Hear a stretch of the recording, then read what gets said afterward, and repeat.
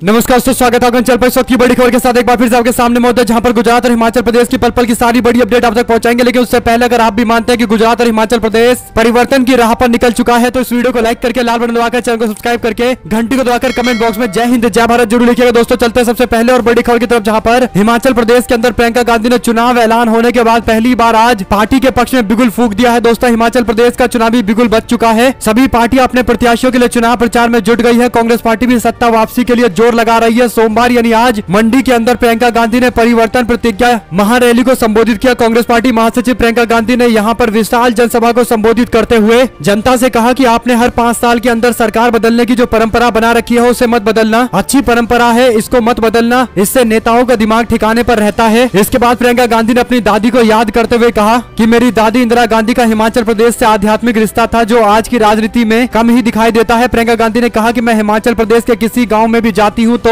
वहाँ के लोग कहते हैं कि हमने आपकी दादी को देखा था। आज 40 साल के बाद भी उनके प्रति लोगों में आदर और सम्मान देखने को मिलता है। उनके जाने के बाद भी देश की राजनीति काफ़ी बदल गई है। आपको बता दें कि प्रियंका गांधी ने कहा कि आज राजनीति में पैसा और स्वार्थ का बोलबाला है। झूठे वादे किए जा रहे हैं। प्रियंका गांधी ने कहा कि इंदिरा गांधी जी के समय में ऐसा नहीं था और इसके बाद उन्होंने आगे जानकारी देते हुए कहा कि जब हिमाचल प्रदेश बना तो इंदिरा गांधी जी शिमला आई थी और वहाँ पर उन्होंने भाषण दिया था। बड़ी बात यह थी की उस दौरान बर्फबारी हुई थी। इसके बावजूद भारी संख्या में लोगों की मौजूदगी देखने को मिली जो उनके प्रति प्रेम को दिखाता है, वहीं आपको बता दें कि प्रतिज्ञा रैली के दौरान प्रियंका गांधी ने प्रधानमंत्री नरेंद्र मोदी और भारतीय जनता पार्टी को जमकर अपने निशाने पर लिया और राज्य की सरकार को भ्रष्टाचारी सरकार बताते हुए सत्ता वापसी के लिए जनता से अपील की है, दोस्तों। वही दोस्तों, हिमाचल प्रदेश के अंदर सरकार बनाने की बड़ी बड़ी बात करने वाली आम आदमी पार्टी को तगड़ा झटका लगा है। हिमाचल प्रदेश के मंडी स्थित द्रंग विधानसभा क्षेत्र में आम आदमी पार्टी के प्रत्याशी सुनीता ठाकुर ने अपना नामांकन वापस लेने के बाद बीजेपी में शामिल होने की घोषणा कर दी है। आप समझ सकते हैं कि बीजेपी और आम आदमी पार्टी के बीच में कितने अच्छे संबंध है दोस्तों की एक नेता। पहले नॉमिनेशन भरता है और एन वक्त पर जाकर भारतीय जनता पार्टी में शामिल हो जाता है। रुक करते हैं एक और बड़ी खबर का, जिसमें हिमाचल प्रदेश में बीजेपी का सरदर्द बढ़ाने वाली बड़ी खबर दोस्तों ये है कि 21 से ज़्यादा लोग हैं जो बीजेपी से बगावत करके चुनावी मैदान में उतरे हुए हैं और इन सभी लोगों के खिलाफ कार्रवाई करने के लिए बीजेपी के नेताओं ने पूरी लिस्ट बना ली है। आपको बता दें की बीजेपी इन बागियों पर जल्द कार्रवाई करने जा रही है। छह साल के लिए सबको निष्कासित किया जाएगा। आपको बता दें कि इन सभी नेताओं को मनाने के लिए भाजपा के बड़े बड़े वरिष्ठ नेताओं को लाइन में लगाया गया था दोस्तों, लेकिन एक भी नहीं माना और इक्कीस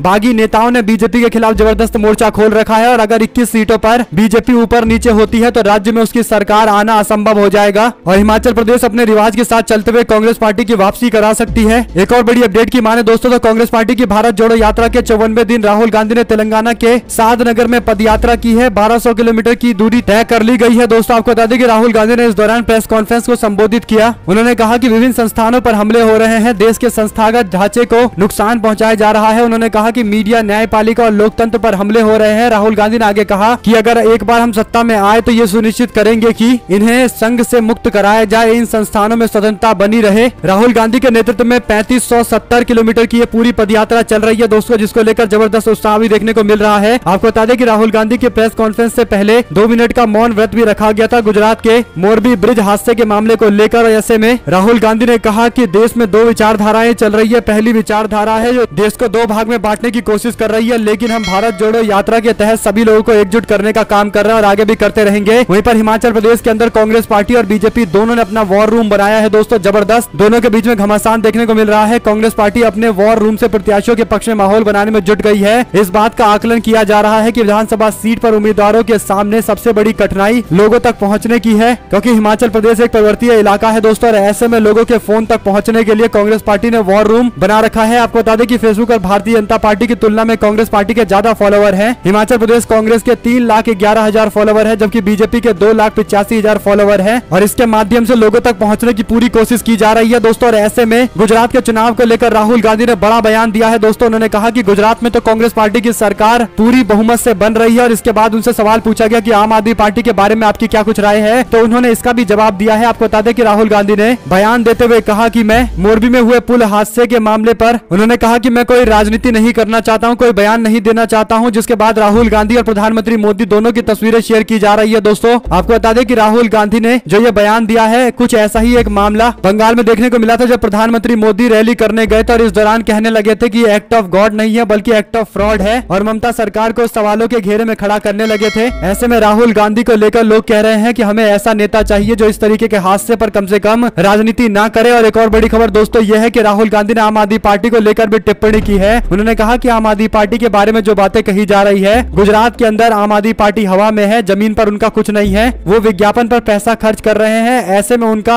हवा बनाया जा रहा है। गुजरात के अंदर कांग्रेस पार्टी मज़बूत है, हमारी सरकार राज्य में बनने जा रही है। अगर आप भी राहुल गांधी की बात से इतफाक रखते हैं तो कमेंट बॉक्स में अपनी राय ज़रूर लिखकर बताइएगा। दोस्तों, इसके इतर अगर आप लोग की कोई और राय हो तो भी कमेंट बॉक्स में लिखकर ज़रूर बताएगा। हमारे साथ जुड़े रहने के लिए पल पल के ब्रेकिंग न्यूज़ अपडेट के साथ बने रहने के लिए बहुत बहुत धन्यवाद। देख रहे थे आपका अपना चैनल। जय हिंद, जय भारत, वंदे मातरम।